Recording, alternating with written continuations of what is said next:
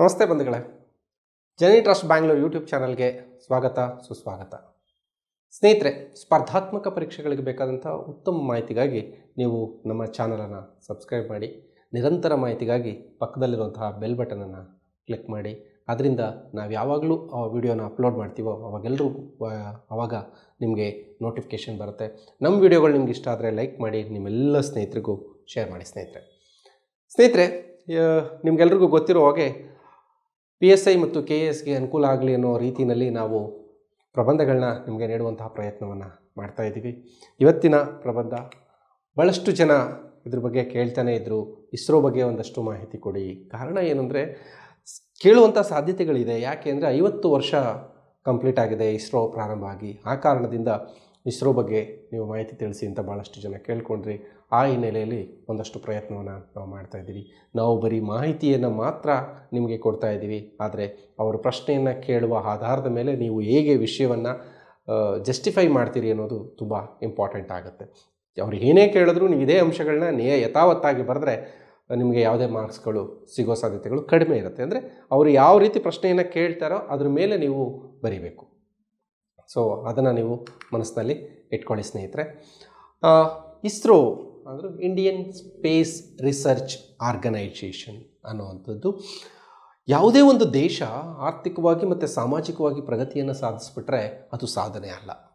ವಿಜ್ಞಾನ ಮತ್ತು ತಂತ್ರಜ್ಞಾನ ಕ್ಷೇತ್ರದಲ್ಲಿ ಯಾವ ದೇಶ ಸಾಧನೆಯನ್ನು ಸಾಧಿಸುತ್ತೋ, ಯಾವ ದೇಶ ಸಾಧನೆಯನ್ನು ಸಾಧಿಸುತ್ತೋ, ಆಗ ಅದು ಪರಿಪೂರ್ಣವಾದಂತಹ ಅಭಿವೃದ್ಧಿಯನ್ನು ಪಡೆದುಕೊಳ್ಳೋದಕ್ಕೆ ಸಾಧ್ಯ ಆಗುತ್ತೆ, ಸ್ನೇಹಿತರೆ. ವಿಜ್ಞಾನ ಮತ್ತು ತಂತ್ರಜ್ಞಾನ ಕ್ಷೇತ್ರದಲ್ಲಿ ಏನಾದರೂ ನಾವು ಹಿನ್ನಡೆಯನ್ನು ಸಾಧಿಸಿದ್ರೆ, ತಾಂತ್ರಿಕವಾಗಿ ನಾವೇನಾದರೂ ಮುಂದುವರಿಲ್ಲ ಅಂದರೆ ಜಗತ್ತಿನಲ್ಲಿ ನಾವು ಹಿಂದೆ ಉಳಿದ ರಾಷ್ಟ್ರಗಳ ಸಾಲಿನಲ್ಲಿ ನಿಂತ್ಕೋಬೇಕಾಗತ್ತೆ, ಸ್ನೇಹಿತರೆ.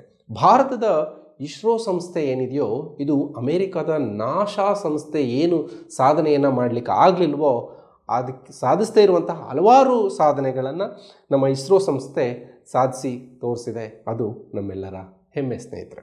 ಇಸ್ರೋ ಸಂಸ್ಥೆಯ ಸಾಧನೆಗಳು ಇಡೀ ಜಗತ್ತನ್ನೇ ವಿಜ್ಞಾನ ಮತ್ತು ತಂತ್ರಜ್ಞಾನ ಕ್ಷೇತ್ರದಲ್ಲಿ ಭಾರತವನ್ನು ತಿರುಗಿ ನೋಡುವಂತಹ, ಭಾರತ ಅಂದರೆ ಏನು ಅನ್ನೋದನ್ನು ನಾವು ವಿಜ್ಞಾನ ಮತ್ತು ತಂತ್ರಜ್ಞಾನ ಕ್ಷೇತ್ರದಲ್ಲಿ ತೋರಿಸ್ಕೊಟ್ಟಿದ್ದೀವಿ ಸ್ನೇಹಿತರೆ. ನಾಲ್ಕು ಉಪಗ್ರಹಗಳನ್ನು ಕಕ್ಷೆಗೆ ಸೇರಿಸಿರುವ ಇಸ್ರೋ ಇದೆಯಲ್ಲ, ಇದು ಭಾರತದ ಹೆಮ್ಮೆಯ ಪ್ರತೀಕ. ನಾವೆಲ್ಲರೂ ಭಾರತೀಯರು ಅಂತ ಹೇಳ್ಕೊಳ್ಳೋದೇ ಒಂದು ಹೆಮ್ಮೆಯ ವಿಷಯ. ಆಗಿದೆ ಸ್ನೇಹಿತರೆ. ಭಾರತ್ ಪ್ರಥಮ ಪ್ರಯತ್ನದಲ್ಲೇ ಅತಿ ಕಡಿಮೆ ಖರ್ಚಿನಲ್ಲಿ ಚಂದ್ರಯಾನ ಮತ್ತು ಮಂಗಳಯಾನವನ್ನು ಮಾಡಿದಂತಹ ಜಗತ್ತಿನ ಏಕೈಕ ಸಂಸ್ಥೆ ಇಸ್ರೋ ಸಂಸ್ಥೆಯಾಗಿದೆ ಇದು ಭಾರತದ ಸರ್ವತೋಮುಖ ಅಭಿವೃದ್ಧಿಗೆ ಸಹಕಾರಿ ಆಗಿರುವಂತಹ ಸಂಸ್ಥೆ. ಇದು ಆಗಸ್ಟ್ ಹದಿನೈದು, ಎರಡು ಸಾವಿರದ ಹತ್ತೊಂಬತ್ತರಂದು ತನ್ನ ಐವತ್ತನೇ ವರ್ಷಾಚರಣೆಯನ್ನು ಆಚರಿಸ್ಕೊಳ್ತು. ಅಂದರೆ ಇಲ್ಲಿಗೆ ಆಗಸ್ಟ್ ಹದಿನೈದು, ಎರಡು ಸಾವಿರದ ಹತ್ತೊಂಬತ್ತಕ್ಕೆ ಐವತ್ತು ವರ್ಷ ಆಯಿತು ಸ್ನೇಹಿತರೆ. ಮತ್ತೊಂದು ವಿಶೇಷ ಏನಪ್ಪ ಅಂತಂದರೆ, ಭಾರತೀಯ ಬಾಹ್ಯಾಕಾಶದ ಪಿತಾಮಹ ಅಂತ ಏನು ಅನ್ಸ್ಕೊಂಡಿದ್ದಾರೆ ಅವರು, ವಿಕ್ರಮ್ ಸಾರಾಭಾಯಿ ಅವರು, ಅವರ ನೂರನೇ ವರ್ಷದ ಜನ್ಮ ದಿನಾಚರಣೆಯು ಕೂಡ ಈ ವರ್ಷವೇ, ಅಂದರೆ ಆಗಸ್ಟ್ ಹನ್ನೆರಡನೇ ತಾರೀಕೆ ಪೂರೈಸಿದೆ ಸ್ನೇಹಿತರೆ. ಹಾಗಾದರೆ ಇಸ್ರೋದ ಸ್ಥಾಪನೆ ಮತ್ತು ಅದರ ಇತಿಹಾಸ ಏನು? ಹೇಗೆ ಅದು ಬೆಳೆದು ಬಂತು ಅಂತ ನೋಡೋದಾದರೆ ಸಾವಿರದ ಒಂಬೈನೂರ ಅರವತ್ತೆರಡರಲ್ಲಿ ದೇಶದ ಮೊದಲನೇ ಪ್ರಧಾನಿಯಾಗಿದ್ದಂತಹ ಜವಾಹರ್ಲಾಲ್ ನೆಹರೂರವರು ವಿಜ್ಞಾನಿ ವಿಕ್ರಮ್ ಸಾರಾಭಾಯಿ ಅವರ ನೇತೃತ್ವದಲ್ಲಿ ಭಾರತೀಯ ಬಾಹ್ಯಾಕಾಶ ಸಂಶೋಧನಾ ಸಮಿತಿಯನ್ನು ನೇಮಕ ಮಾಡಿದ್ರು. ಅದೇ ವರ್ಷ, ಅಂದರೆ ಸಾವಿರದ ಒಂಬೈನೂರ ಅರವತ್ತೆರಡರಲ್ಲಿ ಕೇರಳದ ತುಂಬಾ ಅನ್ನುವಂತಹ ಸ್ಥಳದಲ್ಲಿ ರಾಕೆಟ್ ಉಡಾವಣಾ ಕೇಂದ್ರವು ಕೂಡ ಸ್ಥಾಪನೆಯಾಯಿತು ಸಾವಿರದ ಒಂಬೈನೂರ ಅರವತ್ತ ಮೂರರಲ್ಲಿ ಭಾರತೀಯ ಬಾಹ್ಯಾಕಾಶ ಹಾಗೂ ವಿಜ್ಞಾನ ಮತ್ತು ತಂತ್ರಜ್ಞಾನ ಕೇಂದ್ರವನ್ನು ಸ್ಥಾಪನೆ ಮಾಡಿದ್ರು. ಸಾವಿರದ ಒಂಬೈನೂರ ಅರವತ್ತೇಳರಲ್ಲಿ ಉಪಗ್ರಹ ಸಂವಹನ ಭೂ ನಿಲ್ದಾಣವನ್ನು ಅಹಮದಾಬಾದ್ನಲ್ಲಿ ಸ್ಥಾಪನೆಯನ್ನು ಮಾಡ್ತಾರೆ ಸ್ನೇಹಿತರೆ ಸಾವಿರದ ಒಂಬೈನೂರ ಅರವತ್ತ ಏಳರಲ್ಲಿ ಇನ್ನು ಸಾವಿರದ ಒಂಬೈನೂರ ಅರವತ್ತೊಂಬತ್ತು ಆಗಸ್ಟ್ ಹದಿನೈದರಲ್ಲಿ ಇಸ್ರೋ ಜನ್ಮ ತಾಳುತ್ತೆ. ಈಗ ಎರಡು ಸಾವಿರದ ಹತ್ತೊಂಬತ್ತಾಗಿರೋದ್ರಿಂದ ಐವತ್ತು ವರ್ಷ ಕಂಪ್ಲೀಟ್ ಆಗುತ್ತೆ. ಇಸ್ರೋ ತನ್ನ ಮೊದಲ ಉಪಗ್ರಹ ಆರ್ಯಭಟ್ಟವನ್ನು ರಷ್ಯಾದ ಉಡಾವಣಾ ಕೇಂದ್ರದಿಂದ ಆರಿಸುವಂತಹ ಪ್ರಯತ್ನವನ್ನು ಮಾಡುತ್ತೆ. ಅದು ಸಾವಿರದ ಒಂಬೈನೂರ ಎಪ್ಪತ್ತೈದು ಏಪ್ರಿಲ್ ಹತ್ತೊಂಬತ್ತರಂದು ತನ್ನ ಮೊದಲ ಉಪಗ್ರಹ ಆರ್ಯಭಟ್ಟವನ್ನು ಉಡಾಯಿಸುವಂತಹ ಕೆಲಸ ಮಾಡುತ್ತೆ. ಸಾವಿರದ ಒಂಬೈನೂರ ಎಂಬತ್ತರಲ್ಲಿ ಭಾರತದ ಪ್ರಥಮವಾದಂತಹ ರಾಕೆಟ್ ರೋಹಿಣಿ ಸೆವೆಂಟಿ ಫೈವನ್ನು ತನ್ನದೇ ಸ್ವಂತ ವಾಹನವಾದಂತಹ ಎಸ್ ಎಲ್ ವಿ ತ್ರೀ ಮೂಲಕ ಉಡಾವಣೆ ಮಾಡುತ್ತೆ. ಅದರೊಂದಿಗೆ ಪಿ ಎಸ್ ಎಲ್ ವಿ ಮತ್ತು ಜಿ ಎಸ್ ಎಲ್ ವಿ ಎಂಬ ಉಡಾವಣಾ ವಾಹನಗಳನ್ನು ಕೂಡ ಇಸ್ರೋ ಸಂಸ್ಥೆ ಸಿದ್ಧಪಡಿಸುವಂತಹ ಕೆಲಸವನ್ನು ಮಾಡುತ್ತೆ. ಬಂಧುಗಳೇ, ಹಾಗಾದರೆ ನಾವು ಇಸ್ರೋ ನಿರ್ಮಿಸಿದಂತಹ ಉಡಾವಣಾ ವಾಹನಗಳು ಯಾವ್ಯಾವು ಅಂತ ತಿಳ್ಕೊಳ್ಳೋದಾದರೆ S L V S L V satellite launch vehicle. A S L V augmented satellite launch vehicle P S L V polar satellite launch vehicle G S L V geosynchronous satellite launch vehicle ಇವು ಇಸ್ರೋ ನಿರ್ಮಿಸಿದಂತಹ ಉಡಾವಣಾ ವಾಹನಗಳಾಗಿದೆ. S L V, A S L V, P S L V, G S L V. ಇದನ್ನು ನೆನಪಿಟ್ಕೊಳ್ಳಿ. ಕೆಲವೊಂದು ಸಂದರ್ಭದಲ್ಲಿ match the ಫಾಲೋಯಿಂಗಲ್ಲೂ ಇದನ್ನು ಕೇಳುವಂತಹ ಸಾಧ್ಯತೆಗಳು ಇರುತ್ತೆ. ಇಸ್ರೋ ವಿಡಾ, ಉಡಾಯಿಸಿದಂತಹ ವಿದೇಶಿ ಉಪಗ್ರಹಗಳು ಯಾವ್ಯಾವುದು ಅಂತ. ಮುನ್ನೂರತ್ತು ವಾಣಿಜ್ಯೋದ್ದೇಶದ ವಿದೇಶಿ ಉಪಗ್ರಹಗಳನ್ನು ಭಾರತದ ಇಸ್ರೋ ಸಂಸ್ಥೆ ಉಷಾ, ಉಡಾವಣೆ ಮಾಡಿದೆ. ಅದರಲ್ಲಿ ನೂರ ತೊಂಬತ್ತು ಅಮೇರಿಕದ ಉಪಗ್ರಹಗಳಾಗಿದೆ, ಜಪಾನ್ ಬೇರೆ ಬೇರೆ ದೇಶಗಳು ನಮ್ಮ ನೆರೆಹೊರೆಯ ಬಹಳಷ್ಟು ರಾಷ್ಟ್ರಗಳು ನಮ್ಮ ದೇಶದಲ್ಲೇ ಉಪಗ್ರಹಗಳನ್ನು ಉಡಾವಣೆ ಮಾಡಿದೆ. ಸಾವಿರದ ಒಂಬೈನೂರ ತೊಂಬತ್ತೊಂಬತ್ತು ಮೇ ಇಪ್ಪತ್ತಾರರಂದು P S L V C two rocket ಮೂಲಕ ಮೊಟ್ಟ ಮೊದಲ ವಿದೇಶಿ ಉಪಗ್ರಹವನ್ನು ಇಸ್ರೋ ಉಡಾವಣೆ ಮಾಡ್ತು, ಸ್ನೇಹಿತರೆ.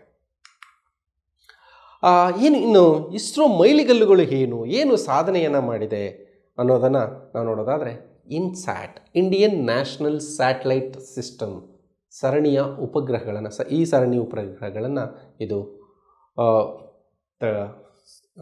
ಸಾಧಿಸ್ತು.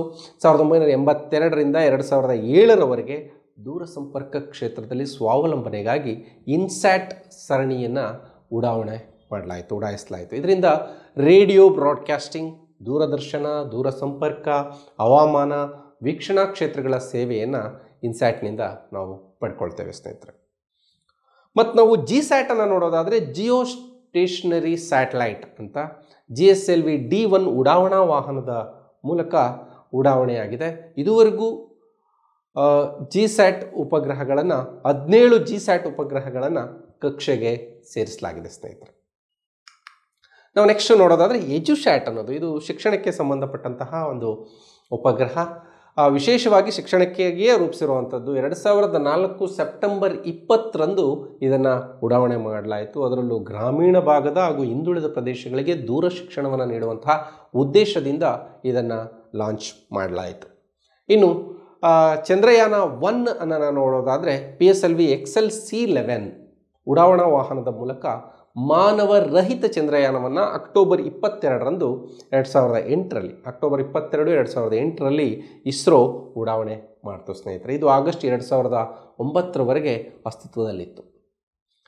ಇದರಲ್ಲಿ ಏನನ್ನು ತಿಳಿಸ್ತು ಪ್ರಮುಖವಾಗಿ ಅಂದರೆ ಚಂದ್ರನಲ್ಲಿ ನೀರಿರುವಂತಹ ಕುರುಹು, ಕುರುಹುಗಳನ್ನು ಚಂದ್ರಯಾನ ಒಂದರಲ್ಲಿ ನಾವು ಕಂಡುಹಿಡಿದ್ವಿ ಅದನ್ನು, ಅದರ ಮಾಹಿತಿಯನ್ನು ನೀಡಿತು. ನಾವು ನೆಕ್ಸ್ಟ್ಗೆ ಹೋಗೋದಾದರೆ Mangalyaan. P S L V C twenty five ಮೂಲಕ ನವೆಂಬರ್ ಐದು, ಎರಡು ಸಾವಿರದ ಹದಿಮೂರರಂದು ಮಂಗಳ ಗ್ರಹಕ್ಕೆ ಉಪಗ್ರಹವನ್ನು ಉಡಾವಣೆ ಮಾಡಲಾಯಿತು.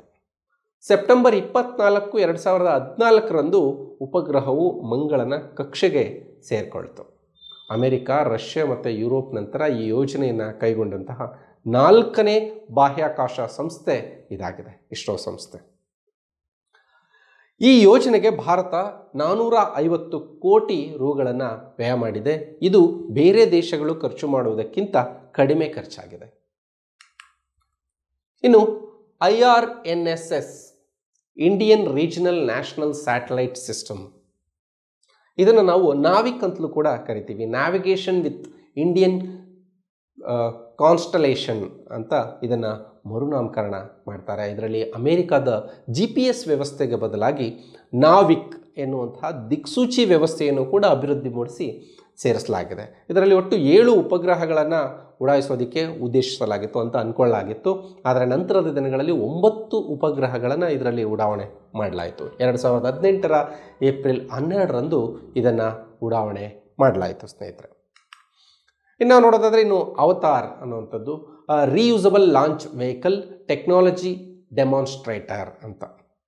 R L V T D ಅಂತ ಹೇಳುವಂಥದ್ದು. ಇಸ್ರೋದ ಮರುಬಳಕೆ ಉಡಾವಣಾ ವಾಹನದ ಕಲ್ಪನೆನೇ ಅವತಾರ ಸ್ನೇಹಿತರೆ. ಮೇ ಇಪ್ಪತ್ತ್ಮೂರು ಎರಡು ಸಾವಿರದ ಹದಿನಾರರಂದು ಇದು ಉಡಾವಣೆ ಆಯಿತು.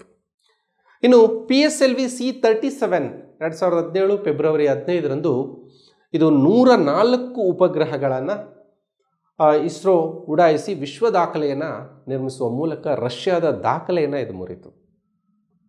P S L V C thirty seven ಇದು ಎರಡು ಸಾವಿರದ ಹದಿನೇಳು ಫೆಬ್ರವರಿ ಹದಿನೈದರಂದು ಉಡಾವಣೆ ಆಯಿತು.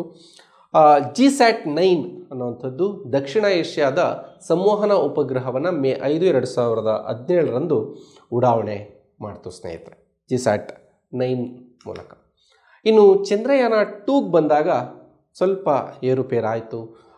ಇಸ್ರೋ ಅದ್ಭುತವಾದ ಸಾಧನೆಯನ್ನೇ ಮಾಡ್ತು.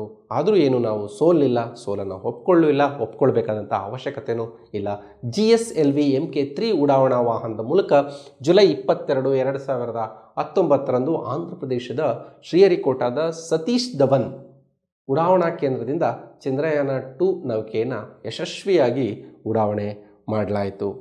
ಇದಕ್ಕೆ ಇಡೀ ದೇಶವೇ ಸಾಕ್ಷಿಯಾಗಿ ನಿಂತಿತ್ತು. ಜೊತೆಗೆ ಇಡೀ ದೇಶ ಆತರದಿಂದ, ಕಾತರದಿಂದ ಚಂದ್ರನ ಅಂಗಳಕ್ಕೆ ಇಳಿಯುತ್ತೆ ಅನ್ನೋ ಒಂದು ಕಾರಣಕ್ಕೆ ಕಾಯ್ತಾ ಕುಳಿತಿತ್ತು.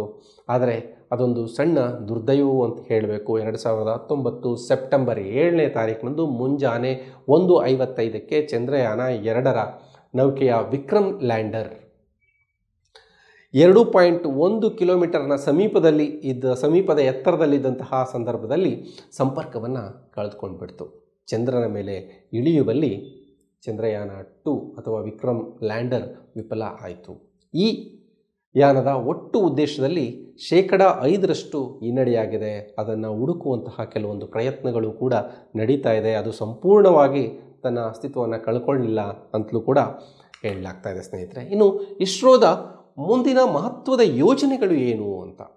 ಮಾನವ ಸಹಿತ ಗಗನಯಾನವನ್ನು ಎರಡು ಸಾವಿರದ ಇಪ್ಪತ್ತೆರಡರ ವೇಳೆಗೆ ಮೂರು ಗಗನಯಾತ್ರಿಗಳ ಗಗನ ನೌಕೆಯನ್ನು G S L V M K three ಮೂಲಕ ಕಳುಹಿಸಿಕೊಡಲಾಗುತ್ತೆ ಸ್ನೇಹಿತರೆ. ಇನ್ನು ಚಂದ್ರಯಾನ ಎರಡು ಮರು ಯೋಜನೆಯನ್ನು ಮಾಡಬೇಕು ಅಂತ ಅಂದ್ಕೊಂಡಿದ್ದಾರೆ ಈಗೇನು ಅರ್ಧಂಬರ್ಧ ಸಕ್ಸಸ್ನಲ್ಲಿದೆಯೋ ಅದನ್ನು ಮತ್ತೆ ಇಸ್ರೋ ಚಂದ್ರಯಾನ ಎರಡು ಮರು ಯೋಜನೆ ಮರು ಉಡಾವಣೆ ಮಾಡೋದಕ್ಕೆ ಚಿಂತನೆಯನ್ನು ನಡೆಸಿದೆ. ಜೊತೆಗೆ ಎರಡು ಸಾವಿರದ ಇಪ್ಪತ್ನಾಲ್ಕರ ವೇಳೆಗೆ ಚಂದ್ರಯಾನ ಮೂರನ್ನು ಕೂಡ ಕೈಗೊಳ್ಳಲಾಗ್ತಾ ಇದೆ. ಆದಿತ್ಯ ಎಲ್ ಇಸ್ರೋ ಸೂರ್ಯನನ್ನು ಅಧ್ಯಯನ ಮಾಡಲು ಈ ಉಪಗ್ರಹವನ್ನು ಉಡಾಯಿಸಲಾಗುತ್ತೆ ಇನ್ನು ಶುಕ್ರಯಾನ ಒಂದು, ಇದು ಶುಕ್ರ ಗ್ರಹದ ವಾತಾವರಣ ಮತ್ತು ಮೇಲ್ಮೈಯನ್ನು ಅಧ್ಯಯನ ಮಾಡೋದಕ್ಕೋಸ್ಕರ G S L V M K three ಮೂಲಕ ಟ್ವೆಂಟಿ ಟ್ವೆಂಟಿಯ ಒಳಗೆ, ಅಥವಾ ಆ ಟೈಮ್ಗೆ ನೌಕೆಯನ್ನು ಕಳಿಸ್ಕೊಡುವಂತಹ ಪ್ರಯತ್ನ ಆಗ್ತಾ ಇದೆ ಸ್ನೇಹಿತರೆ.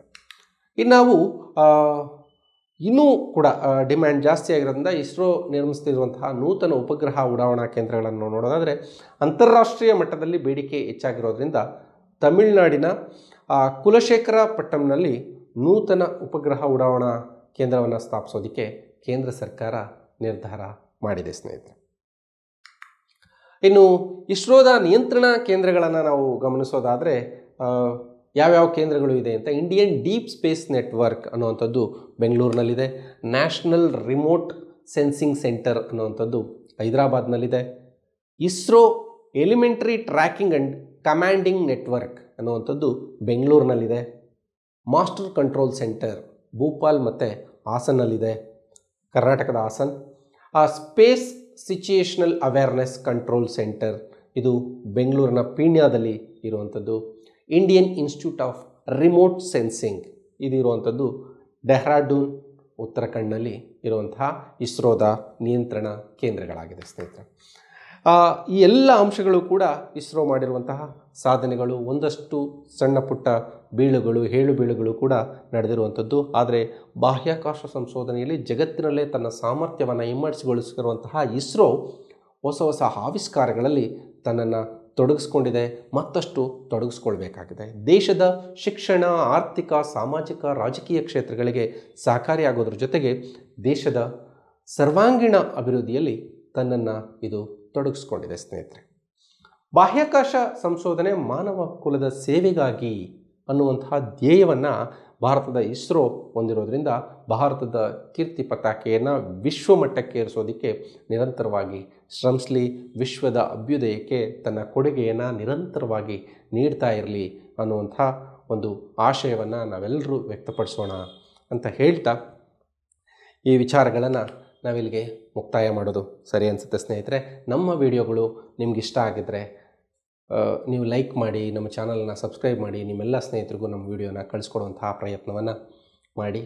ಅದೇ ರೀತಿ ಮತ್ತಷ್ಟು ಪ್ರಬಂಧಗಳನ್ನು, ಕೆ ಎ ಎಸ್ಗೆ ಬೇಕಾದಂತಹ ಮಾಹಿತಿಯನ್ನು ನಾವು ನೀಡುವಂತಹ ಪ್ರಯತ್ನವನ್ನು ಮಾಡ್ತೀವಿ. ನಿಮ್ಗೆ ಇಷ್ಟ ಆದರೆ ಅಥವಾ ನಿಮಗೇನಾದರೂ ಡೌಟ್ ಇದ್ದರೆ ಅಲ್ಲೇ ಮೆಸೇಜ್ ಮಾಡುವಂತಹ ಪ್ರಯತ್ನವನ್ನು ನೀವು ಮಾಡಿ ಸ್ನೇಹಿತರೆ. ಧನ್ಯವಾದಗಳು.